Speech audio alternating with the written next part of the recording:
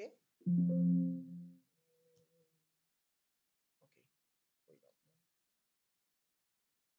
नहीं रिकॉर्डिंग चालू है okay content introduction to database the content में है introduction purpose of database and then database abstraction और data models and relational models तो सबसे पहले इंट्रोडक्शन एक्चुअली में डेटाबेस होता क्या है?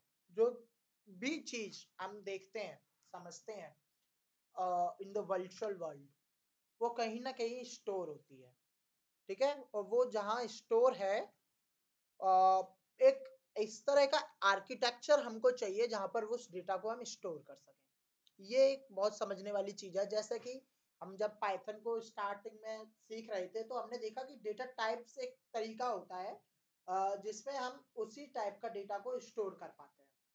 तो डेटाबेस भी इसी तरीके का एक आर्किटेक्चर है। उस आर्किटेक्चर से क्या है कि जो इंटर रिलेटेड डेटा है फॉर एग्ज़ाम्पल आपको डेटाबेस बनाना है स्टूडेंट्स का।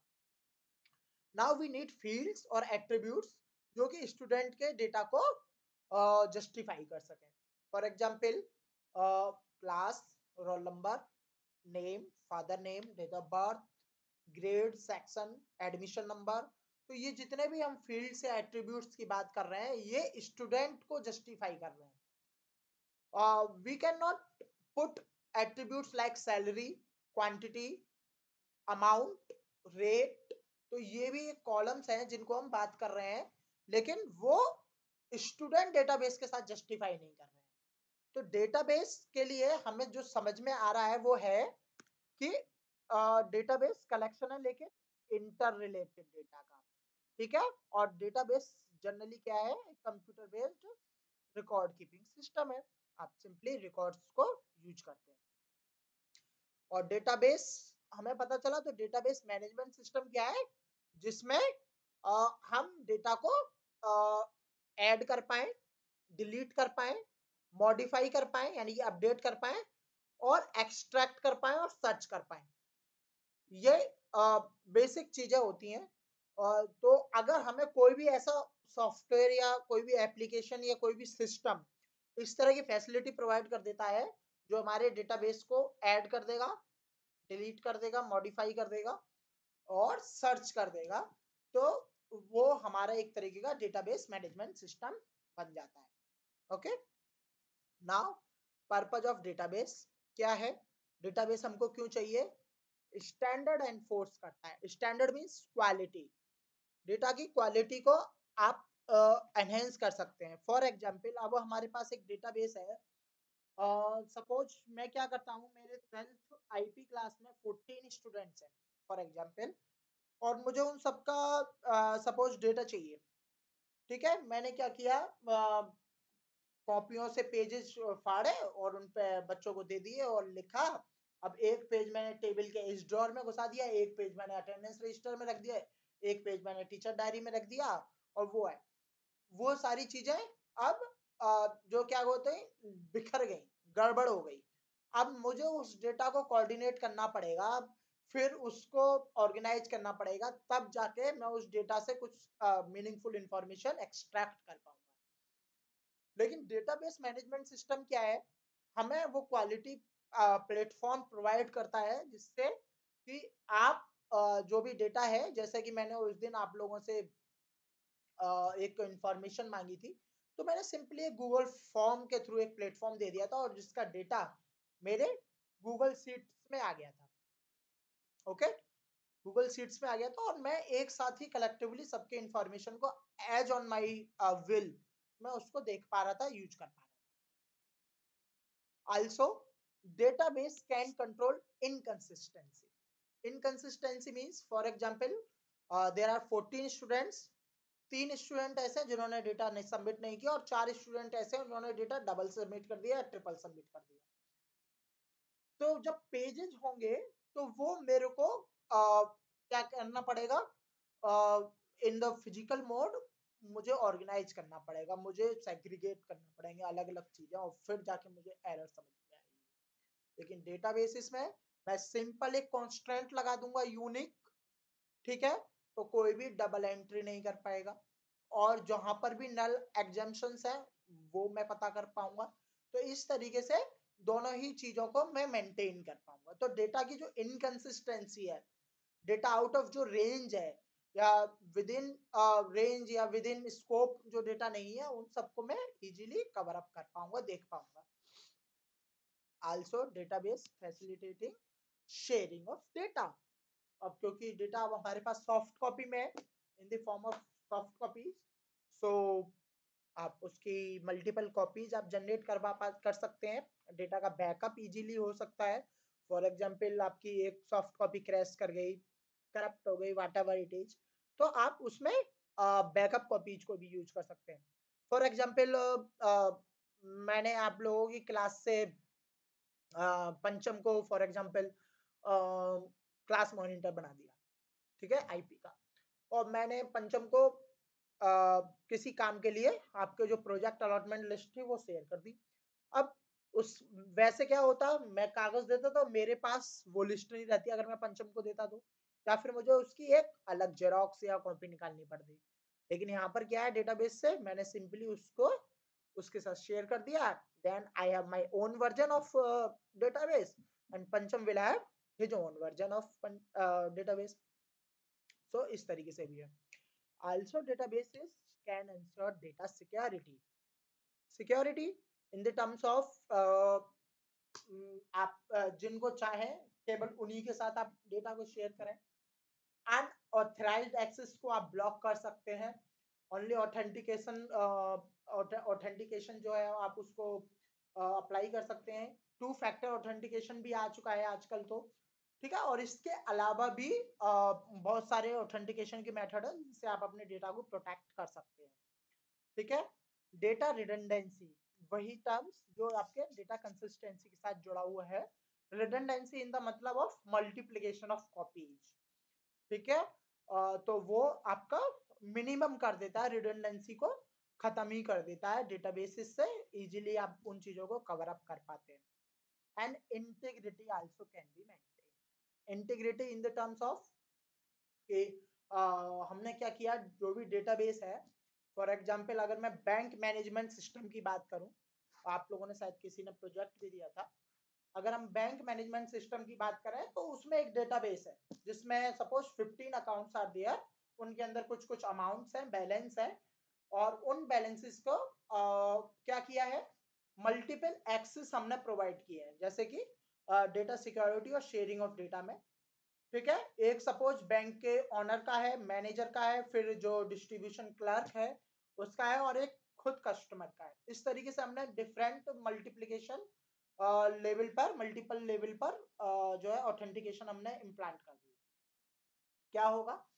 अब हर एक का जो व्यू लेवल है ठीक है? उसको हमने देखा uh, और उसी हिसाब से उसको वो रोल असाइन हुआ। फॉर एग्ज़ाम्पल जो कस्टमर है उसके पास केवल वही राइट्स आए या वही ओनरशिप रोल्स आए जिससे कि वो अपना बैलेंस देख सकता है अपना कोई भी ट्रांजैक्शन परफॉर्म कर सकता है for example money transfer money receive और अकाउंट्स uh, को वो कर सकता है। इसके अलावा वो अपने अकाउंट के अलावा दूसरे का कुछ नहीं देख सकता।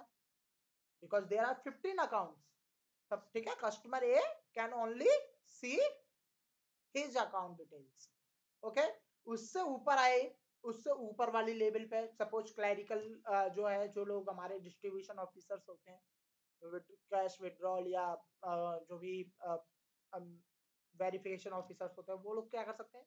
सभी का डेटा देख सकते हैं but they can not manipulate it they need permission from their higher level then manager and then owner तो इस तरीके से ऑथेंटिकेशन की बनी हुई होती है, जो कि राइट्स को कि किस तरीके का आपका उस पर रोल हो सकता है, वो है। और इसके बाद जो इंटीग्रिटी है, वो कैसे मेंटेन होगी कि किसने वो ट्रांजैक्शन या कोई भी अपडेशन है, वो परफॉर्म किया, वो रिकॉर्ड होता है। ठीक है? अगर आप लोगों ने गूगल शीट्स में वर्क किया है, अगर नहीं किया तो हम आपके साथ एक गूगल शीट बनाएँगे। फॉर एग्ज़ाम्पल मैंने एक गूगल शीट बनाई जिसमें सिर्फ़ मैंने क्या किया तीन कॉलम्स बनाए roll number name and class okay और वो मैंने गूगल शीट आपके साथ शेयर कर दी ओके okay? आप लोगों के साथ शेयर की तो facility facilitate sharing of data हो गया। अब उसमें क्या है, आप लोगों को मैंने बोल दिया कि अपने ही अकाउंट से आप लोग उसमें लॉगिन करके एंट्री डाल पाएँगे तो आपको लॉग इन करना पड़ेगा। आप लॉग इन करेंगे, फिर उसमें एंट्री एडिट करेंगे। तो अब मुझे पता चल जाएगा जो भी सीट का ऑनर है कि किसने किस कॉलम में, किस फ़ील्ड में या किस टाइम पे एंट्री की है। So this thing can be maintained everything is clear so database can also use for maintaining integrity now the term वही डेटाबेस एब्स्ट्रैक्शन जो कि हम अभी बात कर रहे थे कि डेटा आपका एक्चुअली डेटाबेस में इन तीन लेवल्स पे रहता है। ये होता है व्यू लेवल जो सबसे आउटर लेवल होता है और यूज़र्स के क्लोजेस्ट होता है। ठीक है? और ये होता है फ़िज़िकल लेवल एक्चुअली में जहाँ पर डेटा रहता है। ठीक है? और ये होता है मिडिल लेवल जिसे लॉजिकल लेवल या कंसेप्चुअल लेवल भी बोलते हैं। तो जो डेटा एब्स्ट्रैक्शन होता है, ये क्या होता है? This is the process of hiding irrelevant details from the user जो कि हमने अभी बताया कि जो बैंक का एक कस्टमर ए है, उसे सिर्फ़ उसी की अकाउंट डिटेल्स दिखेंगे, बाकी किसी की नहीं हुई। तो बाकी जो 14 कस्टमर्स हैं, उनकी जो डिटेल्स हैं, वो इस यूज़र के, जो व्यू लेवल है, इसके इररिलेवेंट है। तो उससे उसको हाइड कर दिया। जो यूज़र का रोल है जो उसका एक्सेस रोल है उसके बेसिस पे ही उसको चीज़ों को दिखाना और बाकी चीज़ों को छुपा लेना ही डेटा एक्सट्रैक्शन कहलाता है। ठीक है? सो so, इसमें तीन लेवल है। सबसे internal level physical level lowest level of abstraction then logical level और व्यू लेवल। ये आप समझो बैंक का कस्टमर ये क्लर्क ये मैनेजर। Customer clerk manager. ठीक है? तो इस तरीके से सबसे पहले आप देखेंगे इंटरनल लेवल ठीक है? Is one the closest to the physical storage जो कि एक्चुअल में डेटा जहाँ पर स्टोर हो रहा है ठीक है? इसे फ़िज़िकल आप लेवल कहते हैं डेटा स्टोर है तो यानी कि इसके पास एडमिन राइट्स है। एक तरीके से आप ये समझे इसके पास एडमिन राइट्स है ठीक है? इसके बाद आता है कंसेप्चुअल लेवल जो बीच में आ, मतलब परफॉर्म करता है यानी कि ये डेटा में, डेटा के स्ट्रक्चर में कोई बदलाव नहीं कर सकता, लेकिन डेटा को देख सकता है। ठीक है? This level of abstraction describe what data are actually stored relationships को देख सकता है लॉजिकली उनको देख सकता है, लेकिन डेटा के स्ट्रक्चर में और स्कीमा में स्कीम में बदलाव नहीं कर पाए। ठीक है? दैट इज़ लॉजिकल लेवल क्योंकि ये व्यू करने के काम में आएगा now this is view level ये यूज़र्स को होता है और concern with the way are viewed in the individual users अभी आप लोगों को मैं आ, अगर मेरा व्हाइट बोर्ड खुल जाएगा तो मैं आपको बताता हूँ एक्चुअली मैं जो लेवल होता है वो किस तरीके से आपका वर्क कर रहा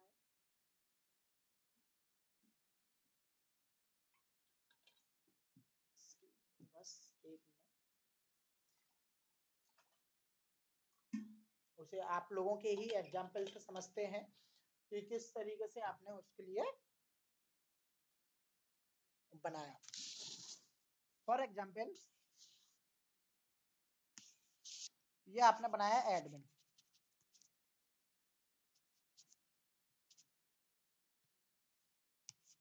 ठीक है?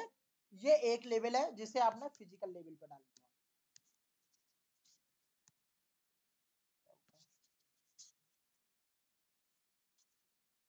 इसे आपने इंटरनल लेवल भी बोला।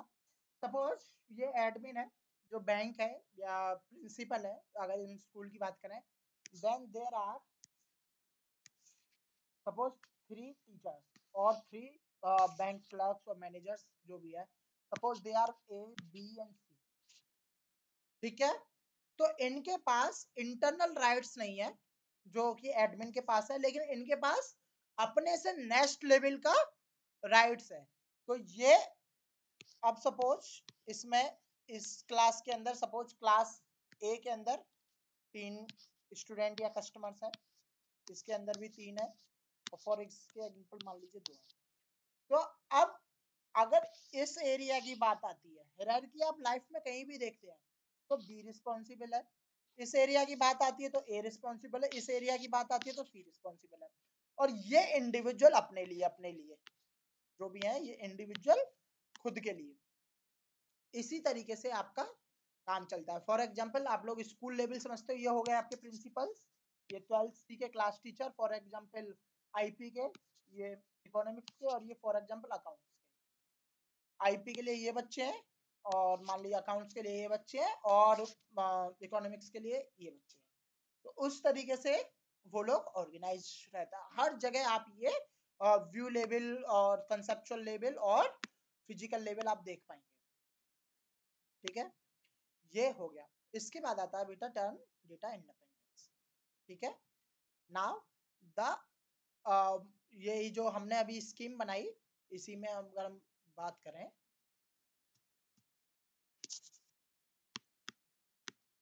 क्लियर क्यों नहीं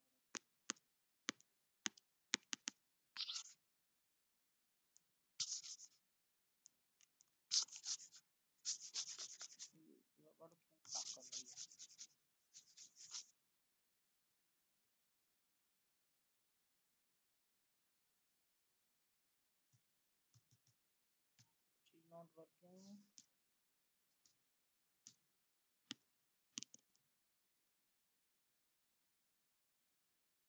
ओके वो वर्क नहीं कर रहा। आप इस तरीके से समझ लीजिए फ़िज़िकल डेटा इंडिपेंडेंस इस तरीके से होती है।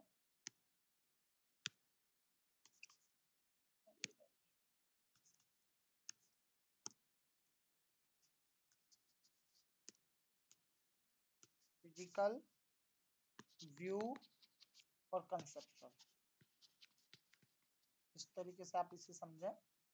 तो इन दोनों के बीच का जो होता है वो हो गया फ़िज़िकल डेटा इंडिपेंडेंस और इन दोनों के बीच के जो हो गया वो हो गया लॉजिकल इस कॉन्सेप्चुअल को लॉजिकल भी बोलते हैं। तो ये हो गया आपका लॉजिकल डेटा इंडिपेंडेंस ठीक है? डेटा इंडिपेंडेंस क्या है? The ability to modify scheme definition in level one without affecting a scheme definition in next higher level or uh, upper level. For example, conceptual और logical data independence है। ये। तो ये आपके व्यू लेवल में तो आपका इंफॉर्मेशन को uh, जो है मॉडिफाई कर सकते हैं चेक कर सकते हैं स्कीम डेफिनेशंस को लेकिन ये जो कंसेप्चुअल लेवल है इससे ऊपर वाले में नहीं कर सकते। यानी कि इसमें। और फ़िज़िकल डेटा डिपेंडेंस में क्या हो गया? कंसेप्चुअल में तो कर सकते हैं लेकिन फ़िज़िकल में नहीं कर सकते। तो अगर ये अभी काम करता है मेरा व्हाइट बोर्ड क्योंकि एक्चुअली में नहीं कर रहा है तो मैं एक बार इसको बंद करके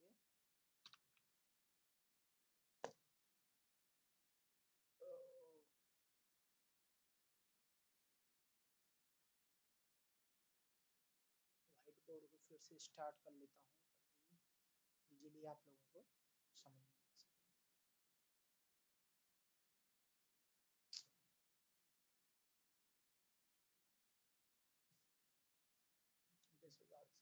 working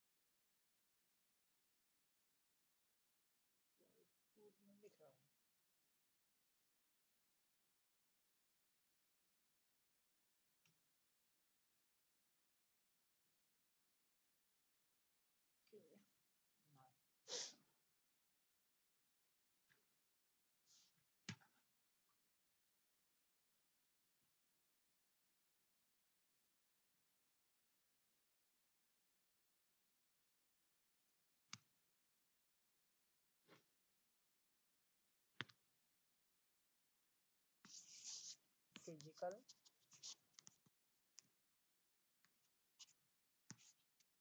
कंसेप्चुअल या लॉजिकल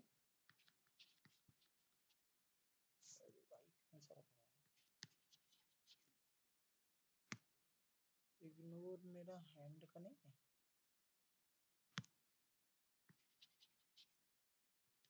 अरे भाई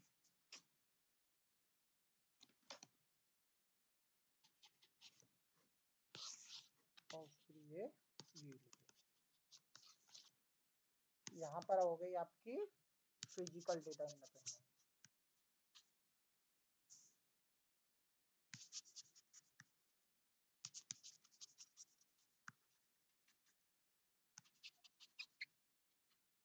यहाँ पर हो गई आपकी कंसेप्ट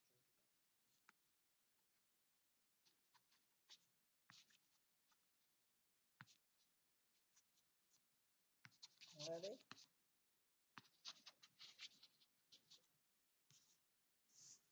ओके तो इसका मतलब कंसेप्चुअल डेटा इंडिपेंडेंस जो है वो व्यू लेवल में स्कीम डेफिनेशन को मॉडिफाई कर सकती है without disturbing its upper level that is conceptual और जो फ़िज़िकल डेटा इंडिपेंडेंस है वो आपके कंसेप्चुअल लेवल में स्कीम uh, मॉडिफाई uh, कर सकते हैं without affecting the physical level this is your data independence.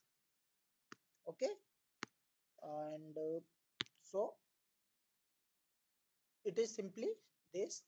Now, different data models, जिसमें हम लोग बात करते हैं, सिर्फ़ और सिर्फ़ रिलेशनल डेटा मॉडल्स की। तो जो रिलेशनल डेटा मॉडल है, उसमें आपका जो डेटा है, वो हम लोगों ने पता किया ही हुआ है कि वो किस फॉर्मेट में रहता है बच्चा? वो रहता है आपके टेबल्स के फॉर्मेट में। टेबल्स का फॉर्मेट मतलब आपकी जो टेबल्स है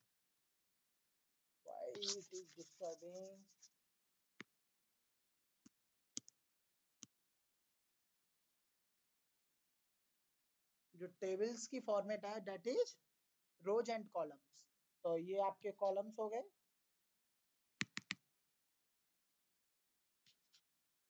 दिस दिस दिस या दिस दिस दिस और ये आपके रोज हो गए। ऐसे। ये, और ये आपका पूरा कॉलम माना जाता है।